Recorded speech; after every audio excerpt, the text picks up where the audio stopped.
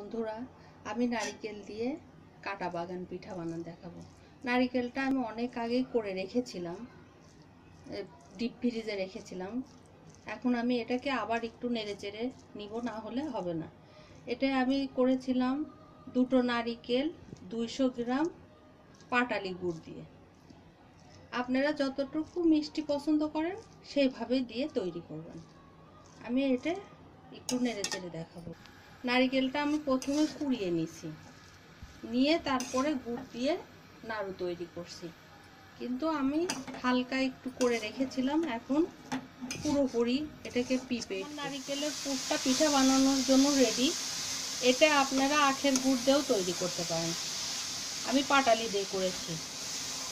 আমি আগে থেকেই করে রেখেছিলাম এখন এটা রেডি আমি বন্ধুরা আমি পিঠার জন্য এখন আটা তৈরি করছি। আমি বড় কাপের এক কাপ আটা নিলাম। যার যতটুকু প্রয়োজন সে সেইভাবে নিতে পারে আমি নিলাম এক কাপের বড় কাপ।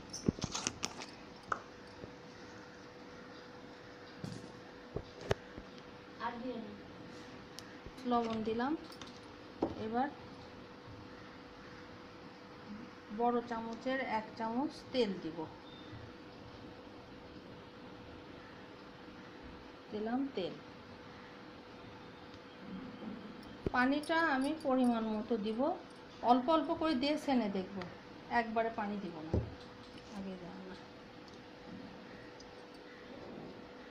আটা, লবণ, তেলটা একটু ভালো করে মেখে নেব।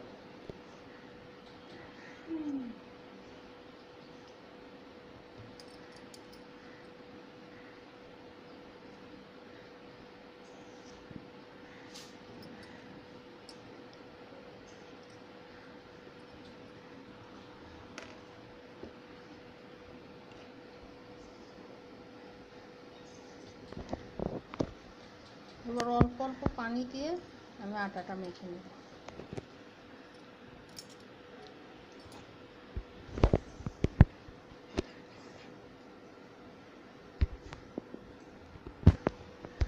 বন্ধুরা, আমি আস্তে আস্তে করে পানি দিয়ে আটাটা ময়ন করে নিয়েছি।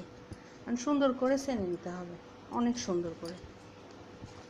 আমার ইটা এই রকমই হবে, আর বেশি পানি দেওয়া যাবে না। আমার আটাটা হয়ে গেছে, এখন আমি পুরটা ঠিক করব। আমি সুন্দর করে হাত ধুয়ে নিয়েছি আগে। আমার পিঠাগুলো লম্বা লম্বা হবে।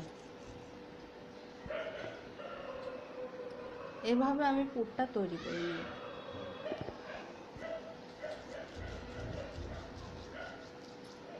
পুরগুলো আমি এইভাবে তৈরি করে নিব।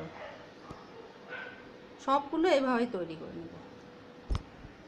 এবার আপনাদেরকে একটু কেটে দেখাচ্ছি। কীভাবে কাটতে হয়।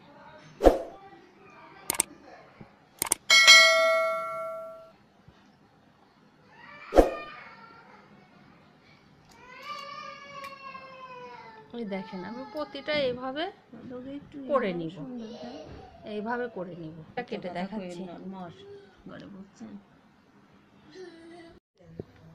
এই যে আমার পিঠা এখন আমি ভাজবো।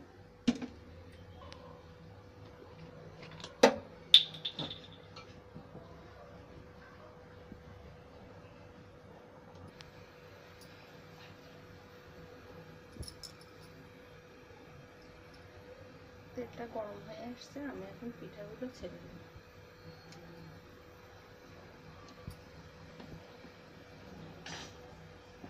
আস্তে আস্তে ভাজতে হবে।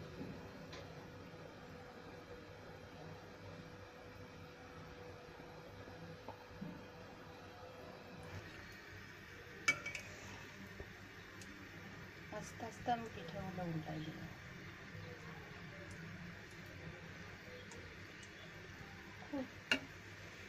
স্লো ফ্লেমে পিঠাগুলো ভাজতে হবে তাহলে মচমচা হবে।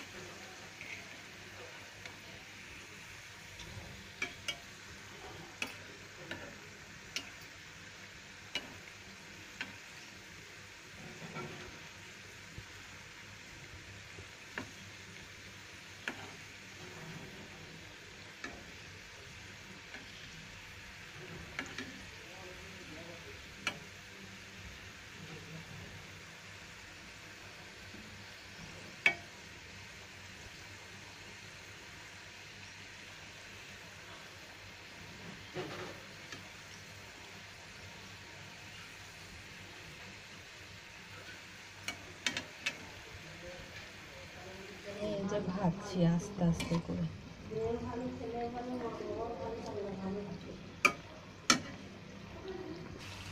বন্ধুরা, আমরা একটু হালকা ভেজেও এটা সংরক্ষণ করতে পারি এক মাস, দেড় মাস।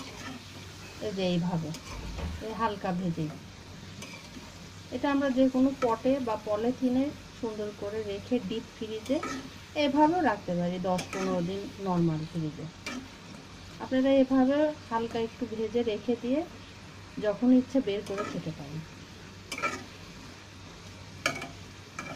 একটু হালকা তাপে ভেজে নিয়ে এইভাবে এই এইভাবে আমার হয়ে গেল কাটা বাগান পিঠা। আমার পিঠাটা যদি ভালো লেগে থাকে একটা লাইক করবেন কমেন্ট করবেন, বন্ধু